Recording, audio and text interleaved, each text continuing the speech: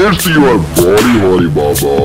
ਸਤਿ ਸ਼੍ਰੀ ਅਕਾਲ ਜੀ ਮੈਂ ਤੁਹਾਡਾ ਦੋਸਤ ਜਗਮੀਤ ਬਰਾੜ ਤੇ ਜੀ ਬੋਲੀ ਹੋਲੀ ਬਾਬਾ ਚੈਨਲ ਦੇਖ ਰਹੇ ਸਾਰੇ ਦਰਸ਼ਕਾਂ ਨੂੰ ਮੈਂ ਬਹੁਤ-ਬਹੁਤ ਸਵਾਗਤ ਕਰਦਾ ਦੋਸਤੋ ਅੱਜ ਮੈਂ ਪੰਜਾਬ ਦੇ ਨਾਮਵਰ ਸਿੰਗਰ ਤੇ ਐਕਟਰ ਰਵਿੰਦਰ ਗਰੇਵਾਲ ਦੀ ਬਾਇਓਗ੍ਰਾਫੀ ਲੈ ਕੇ ਹਾਜ਼ਰ ਹੋਇਆ। ਜਿਨ੍ਹਾਂ ਦੀ ਬਾਇਓਗ੍ਰਾਫੀ ਲਈ ਤੁਸੀਂ ਮੈਨੂੰ ਕਾਫੀ ਲੰਬੇ ਸਮੇਂ ਤੋਂ ਫਰਮਾਇਸ਼ ਕਰ ਰਹੇ ਸੀ। ਸੋ ਦੋਸਤੋ, ਆਪਾਂ ਅੱਜ ਦੀ ਵੀਡੀਓ ਵਿੱਚ ਰਵਿੰਦਰ ਗਰੇਵਾਲ ਜੀ ਦੀ ਲਾਈਫ ਬਾਰੇ, ਉਹਨਾਂ ਦੀ ਫੈਮਿਲੀ ਬਾਰੇ, ਉਹਨਾਂ ਦੇ ਕੈਰੀਅਰ ਬਾਰੇ ਤੇ ਉਹਨਾਂ ਦੇ ਸੰਘਰਸ਼ ਬਾਰੇ ਪੂਰੇ ਵਿਸਤਾਰ ਵਿੱਚ ਗੱਲਬਾਤ ਕਰਾਂਗੇ। ਆਪਾਂ ਗੱਲ ਕਰਾਂਗੇ ਕਿਸ ਤਰ੍ਹਾਂ ਉਹਨਾਂ ਨੇ ਸਿਰਫ 15 ਸਾਲ ਦੀ ਉਮਰ ਵਿੱਚ ਆਪਣੀ ਪਹਿਲੀ ਐਲਬਮ ਮਾਰਕੀਟ ਵਿੱਚ ਲੈ ਕੇ ਆਂਦੀ ਸੀ ਤੇ ਕਿਸ ਤਰ੍ਹਾਂ ਦਾ ਉਸ ਨੂੰ ਰਿਸਪਾਂਸ ਮਿਲਿਆ ਸੀ। ਸੋ ਦੋਸਤੋ, ਤੁਸੀਂ ਇਸ ਵੀਡੀਓ ਨੂੰ ਸ਼ੁਰੂ ਤੋਂ ਲੈ ਕੇ ਅੰਤ ਤੱਕ ਜਰੂਰ ਦੇਖਿਓ ਤੇ ਜੇਕਰ ਆਪਣਾ ਚੈਨਲ ਤੁਸੀਂ ਪੌਲੀ ਹੌਲੀ ਬਾਬਾ ਅਜੇ ਤੱਕ ਨਹੀਂ ਸਬਸਕ੍ਰਾਈਬ ਕੀਤਾ, ਤਾਂ ਇਸੇ ਤਰ੍ਹਾਂ ਦੀਆਂ ਵੀਡੀਓ ਹਰ ਰੋਜ਼ ਵੇਖਣ ਲਈ ਆਪਣੇ ਚੈਨਲ ਨੂੰ ਜਰੂਰ ਸਬਸਕ੍ਰਾਈਬ ਕਰ ਲਓ ਤੇ ਨਾਲ ਆ ਰਹੇ ਬੈਲ ਦੇ ਬਟਨ ਤੇ ਵੀ ਕਲਿੱਕ ਕਰ ਦਿਓ। ਸੋ ਦੋਸਤੋ, ਹੁਣ ਤੁਹਾਡਾ ਜ਼ਿਆਦਾ ਸਮਾਂ ਨਾ ਲੈਂਦੇ ਹੋਏ ਸਭ ਤੋਂ ਪਹਿਲਾਂ ਆਪਾਂ ਰਵਿੰਦਰ ਗਰੇਵਾਲ ਜੀ ਦੇ ਜੀਵਨ ਤੇ ਇੱਕ ਝਾਤ ਮਾਰਦੇ ਹਾਂ। ਮਹਾਨ ਪੰਜਾਬੀ ਸਿੰਗਰ ਤੇ ਐਕਟਰ ਰਵਿੰਦਰ ਗਰੇਵਾਲ ਦਾ ਜਨਮ ਪਿੰਡ ਗੁੱਜਰਵਾਲ, ਜ਼ਿਲ੍ਹਾ ਲੁਧਿਆਣਾ, ਪੰਜਾਬ ਵਿਖੇ ਹੋਇਆ। ਰਵਿੰਦਰ ਗਰੇਵਾਲ ਨੂੰ ਬਚਪਨ ਤੋਂ ਹੀ ਸਿੰਗਿੰਗ ਨਾਲ ਬਹੁਤ ਜ਼ਿਆਦਾ ਪਿਆਰ ਸੀ। ਉਹਨਾਂ ਦਾ ਸੰਗੀਤ ਪ੍ਰਤੀ ਗੂੜਾ ਪਿਆਰ ਵੇਖ ਕੇ ਉਹਨਾਂ ਦੇ ਪਿੰਡ ਦੇ ਹੀ ਇੱਕ ਟੀਚਰ ਨੇ ਉਹਨਾਂ ਨੂੰ ਗਿਫਟ ਵਜੋਂ ਆਪਣਾ ਹਾਰਮੋਨੀਅਮ ਦਿੱਤਾ ਸੀ, ਜੋ ਕਿ ਰਵਿੰਦਰ ਗਰੇਵਾਲ ਜੀ ਨੇ ਅਜੇ ਤੱਕ ਵੀ ਆਪਣੇ ਕੋਲ ਸੰਭਾਲ ਕੇ ਰੱਖਿਆ ਹੋਇਆ। ਤੇ ਦੋਸਤੋ ਰਵਿੰਦਰ ਗਰੇਵਾਲ ਨੇ ਆਪਣੀ 10ਵੀਂ ਤੱਕ ਦੀ ਪੜ੍ਹਾਈ ਪਿੰਡ ਦੇ ਸਕੂਲ ਤੋਂ ਹੀ ਹਾਸਲ ਕੀਤੀ ਅਤੇ ਇਸ ਤੋਂ ਬਾਅਦ ਉਹ ਪਲੱਸ 2 ਤੱਕ ਰਾਮਗੜੀਆ ਕੋ ਐਜੂਕੇਸ਼ਨ ਹਾਈ ਸਕੂਲ ਲੁਧਿਆਣਾ ਵਿਖੇ ਪੜ੍ਹੇ। ਆਪਣੀ ਸਕੂਲਿੰਗ ਕੰਪਲੀਟ ਕਰਨ ਤੋਂ ਬਾਅਦ ਉਹਨਾਂ ਨੇ ਖਾਲਸਾ ਕਾਲਜ ਲੁਧਿਆਣਾ ਤੋਂ ਗ੍ਰੈਜੂਏਸ਼ਨ ਕੀਤੀ। ਰਵਿੰਦਰ ਗਰੇਵਾਲ ਜੀ ਆਪਣੇ ਸਕੂਲ ਤੇ ਕਾਲਜ ਸਮੇਂ ਹਰ ਇੱਕ ਸੱਭਿਆਚਾਰਕ ਪ੍ਰੋਗਰਾਮ ਵਿੱਚ ਭਾਗ ਲੈਂਦੇ ਸੀ ਤੇ ਉਹਨਾਂ ਦੀ ਸਿੰਗਿੰਗ ਨੂੰ ਸਾਰੇ ਬਹੁਤ ਜ਼ਿਆਦਾ ਸਲਾਉਂਦੇ ਸੀ। ਦੋਸਤੋ ਰਵਿੰਦਰ ਗਰੇਵਾਲ ਜੀ ਜਦੋਂ ਪਲੱਸ 2 ਕਲਾਸ ਵਿੱਚ ਪੜ੍ਹ ਰਹੇ ਸੀ ਤਾਂ ਸਨ 1995 ਵਿੱਚ ਉਹਨਾਂ ਦੀ ਪਹਿਲੀ ਐਲਬਮ ਆਈ ਸੀ ਪੜਨ ਨਾਨਕੇ ਲਾਤੀ। ਇਹ ਐਲਬਮ ਉਹਨਾਂ ਦੀ ਸੁਪਰ ਡੂਪਰ ਹਿੱਟ ਹੋਈ ਸੀ। ਉਸ ਸਮੇਂ ਉਮਰ ਉਹਨਾਂ ਦੀ ਸਿਰਫ 15 ਤੋਂ 16 ਸਾਲ ਸੀ ਤੇ ਉਹ ਆਪਣੇ ਸਕੂਲ ਬੱਸ ਤੇ ਜਾਇਆ ਕਰਦੇ ਸੀ। ਜਦੋਂ ਉਹਨਾਂ ਦੀ ਇਹ ਐਲਬਮ ਆਈ ਤਾਂ ਸਾਰੇ ਲੋਕ ਉਹਨਾਂ ਨੂੰ ਪਹਿਚਾਨਣ ਲੱਗ ਪਏ ਤੇ ਕਹਿੰਦੇ ਸੀ ਕਿ ਉਹ ਦੇਖੋ ਰਵਿੰਦਰ ਗਰੇਵਾਲ। ਤੇ ਦੋਸਤੋ, ਰਵਿੰਦਰ ਗਰੇਵਾਲ ਜੀ ਨੇ ਇਸ ਗੱਲ ਦਾ ਵੀ ਖੁਲਾਸਾ ਕੀਤਾ ਕਿ ਉਹਨਾਂ ਦੀ ਇਹ 15 ਤੋਂ 16 ਸਾਲ ਦੀ ਉਮਰ ਵਿੱਚ ਇੰਨੀ ਛੋਟੀ ਉਮਰ ਵਿੱਚ ਆਪਾਂ ਕਹਿ ਸਕਦੇ ਹਾਂ ਕਿ ਇਸ ਤਰ੍ਹਾਂ ਐਲਬਮ ਆਈ। ਉਹਨਾਂ ਨੇ ਦੱਸਿਆ ਕਿ ਸਾਡੇ ਪਿੰਡ ਵਿੱਚ ਇੱਕ ਮੇਲਾ ਹੋਇਆ ਸੀ ਤੇ ਉਸ ਮੇਲੇ ਤੇ ਮੈਂ ਇੱਕ ਗੀਤ ਗਾਇਆ ਸੀ। ਉਸੇ ਮੇਲੇ ਵਿੱਚ ਹੀ ਪੰਜਾਬੀ 뮤직 ਇੰਡਸਟਰੀ ਦੀ ਨਾਮਵਰ ਹਸਤੀ ਜਗਦੇਵ ਸਿੰਘ ਜੱਸੋਵਾਲ ਜੀ ਮੌਜੂਦ ਸੀ। ਉਹਨਾਂ ਨੇ ਜਦੋਂ ਮੇਰਾ ਗੀਤ ਸੁਣਿਆ ਤਾਂ ਉਹਨਾਂ ਨੂੰ ਬਹੁਤ ਜ਼ਿਆਦਾ ਪਸੰਦ ਆਇਆ। ਉਹਨਾਂ ਨੇ ਕਿਹਾ ਕਿ, ਕਾਕਾ, ਤੇਰੀ ਆਵਾਜ਼ ਬਹੁਤ ਵਧੀਆ। ਤੇਰੇ ਵਿੱਚ ਕਲਾ ਹੈ। ਤੂੰ ਆਪਣਾ ਨਾਮ ਪੰਜਾਬੀ 뮤직 ਇੰਡਸਟਰੀ ਵਿੱਚ ਬਣਾ ਸਕਦਾ। ਤੇ ਦੋਸਤੋ, ਉਹਨਾਂ ਨੇ ਕਿਹਾ ਕਿ ਜਗਦੇਵ ਸਿੰਘ ਜੱਸੋਵਾਲ ਜੀ ਨੇ ਮੇਰੀ ਬਾਹ ਫੜੀ।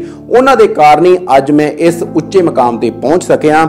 ਉਸ ਤੋਂ ਬਾਅਦ ਜਗਦੇਵ ਸਿੰਘ ਜੱਸੋਵਾਲ ਜੀ ਉਹਨਾਂ ਦੇ ਘਰ ਵੀ ਗਏ। ਤੇ ਨਾਲ ਦੀ ਨਾਲ ਰਵਿੰਦਰ ਗਰੇਵਾਲ ਜੀ ਨੇ ਇਹ ਵੀ ਕਿਹਾ ਕਿ ਜਗਦੇਵ ਸਿੰਘ ਜੱਸੋਵਾਲ ਜੀ ਨੇ ਮੇਰੇ ਪਿਤਾ ਜੀ ਨੂੰ ਤੇ ਮੇਰੇ ਪਰਿਵਾਰ ਨੂੰ ਕਿਹਾ ਕਿ ਤੁਹਾਡੇ ਮੁੰਡੇ ਵਿੱਚ ਕਲਾ ਹੈ। ਇਸ ਨੂੰ ਤੁਸੀਂ ਗਾਉਣ ਦਾ ਜ਼ਰੂਰ ਮੌਕਾ ਦਿਓ। ਇਸ ਤੋਂ ਬਾਅਦ ਰਵਿੰਦਰ ਗਰੇਵਾਲ ਜੀ ਨੇ ਕਿਹਾ ਕਿ ਮੈਂ ਕਦੇ ਵੀ ਪਿੱਛੇ ਮੁੜ ਕੇ ਨਹੀਂ ਵੇਖਿਆ। ਜਗਦੇਵ ਸਿੰਘ ਜੱਸੋਵਾਲ ਜੀ ਦੀ ਬਦੌਲਤ ਮੈਂ ਪੰਜਾਬ ਦੇ ਲਗਭਗ ਹਰ ਇੱਕ ਮੇਲੇ ਵਿੱਚ ਗਾਇਆ ਤੇ ਜਦੋਂ ਮੈਨੂੰ ਪ੍ਰੋਫੈਸਰ ਮੋਹਨ ਸਿੰਘ ਮੇਲੇ ਤੇ ਗਾਉਣ ਦਾ ਮੌਕਾ ਮਿਲਿਆ, ਤਾਂ ਉੱਥੇ ਫਾਈਨ ਟੋਨ ਕੰਪਨੀ ਦੇ ਜੋ ਮਾਲਕ ਰਜਿੰਦਰ ਸਿੰਘ, ਉਹਨਾਂ ਨੇ ਮੇਰੀ ਆਵਾਜ਼ ਸੁਣੀ ਤੇ ਫਿਰ ਇਸ ਤੋਂ ਬਾਅਦ ਉਹਨਾਂ ਨੇ ਕਿਹਾ ਕਿ ਅਸੀਂ ਤੇਰੀ ਕਾਕਾ ਇੱਕ ਐਲਬਮ ਰਿਕਾਰਡ ਕਰਨਾ ਚਾਹੁੰਦੇ ਆ ਜਿਸ ਦਾ ਨਾਮ ਆਪਾਂ ਜਾਣਦੇ ਹਾਂ ਕਿ ਪੜਨ ਨਾਨਕੇ ਲਾਤੀ। ਇਹ ਐਲਬਮ ਰਵਿੰਦਰ ਗਰੇਵਾਲ ਜੀ ਦੀ ਪਹਿਲੀ ਐਲਬਮ ਆਈ ਸੀ ਤੇ ਇਹ ਐਲਬਮ ਨੂੰ ਇੰਨਾ ਜ਼ਿਆਦਾ ਲੋਕਾਂ ਨੇ ਪਿਆਰ ਦਿੱਤਾ ਕਿ ਇਸ ਐਲਬਮ ਨੇ ਰਵਿੰਦਰ ਗਰੇਵਾਲ ਜੀ ਨੂੰ ਰਾਤੋਂ ਰਾਤ ਸੁਪਰਸਟਾਰ ਬਣਾਤਾ। ਇਸ ਤੋਂ ਬਾਅਦ ਜੋ ਰਵਿੰਦਰ ਗਰੇਵਾਲ ਜੀ ਦੀ ਐਲਬਮ ਆਈ, ਐਵੇਂ ਰੌਲਾ ਪੈ ਗਿਆ। ਇਸ ਐਲਬਮ ਨੇ ਰਵਿੰਦਰ ਗਰੇਵਾਲ ਜੀ ਦੇ ਕੈਰੀਅਰ ਨੂੰ ਬੁਲੰਦੀਆਂ ਤੇ ਪਹੁੰਚਾ ਦਿੱਤਾ ਤੇ ਉਹਨਾਂ ਦੀ ਪੰਜਾਬੀ 뮤직 ਇੰਡਸਟਰੀ ਵਿੱਚ ਇਸ ਐਲਬਮ ਨੇ ਇੱਕ ਵੱਖਰੀ ਪਹਿਚਾਣ ਬਣਾਈ।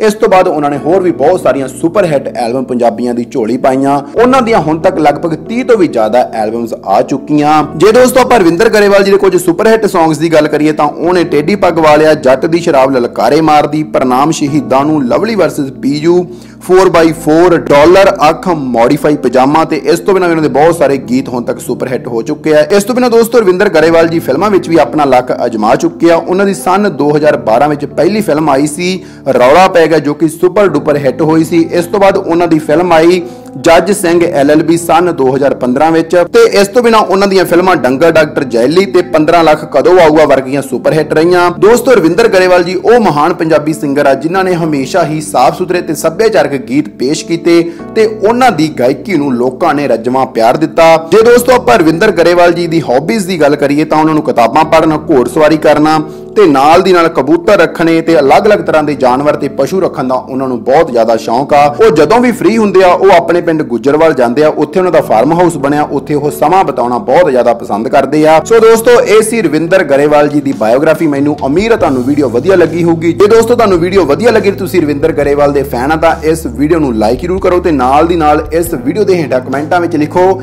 ਫੈਨ ਰਵਿੰਦਰ ਗਰੇਵਾਲ ਦੇ ਤੇ ਇਸ ਵੀਡੀਓ ਨੂੰ ਆਪਣੇ ਸਾਰੇ ਦੋਸਤ ਮਿੱਤਰਾਂ ਨਾਲ ਜਰੂਰ ਸ਼ੇਅਰ ਕਰ ਦਿਓ ਤਾਂ ਜੋ ਉਹ ਵੀ ਰਵਿੰਦਰ ਗਰੇਵਾਲ ਜੀ ਦੀ ਲਾਈਫ ਤੇ ਸੰਘਰਸ਼ ਬਾਰੇ ਜਾਣ ਸਕਣ। ਤੇ ਹੋਰ ਵੀਡੀਓਜ਼ ਲਈ ਆਪਣੇ ਚੈਨਲ ਨੂੰ ਜਰੂਰ ਸਬਸਕ੍ਰਾਈਬ ਕਰ ਲਓ ਤੇ ਨਾਲ ਆ ਰਹੇ ਬੈਲ ਦੇ ਬਟਨ ਤੇ ਕਲਿੱਕ ਕਰ ਦਿਓ, ਤਾਂ ਜੋ ਆਪਣੀ ਹਰ ਇੱਕ ਵੀਡੀਓ ਤੁਹਾਡੇ ਤੱਕ ਸਭ ਤੋਂ ਪਹਿਲਾਂ ਪਹੁੰਚ ਸਕੇ। ਸੋ ਜੀ, ਇੰਨੇ ਸ਼ਬਦਾਂ ਨਾਲ ਆਪਣੇ ਦੋਸਤ ਜਗਮੀਤ ਬਰਾੜ ਨੂੰ ਦਿਓ ਇਜਾਜ਼ਤ। ਮਿਲਦੇ ਹਾਂ ਕਿਸੇ ਹੋਰ ਵੀਡੀਓ ਨਾਲ। ਸਤਿ ਸ਼੍ਰੀ ਅਕਾਲ ਜੀ।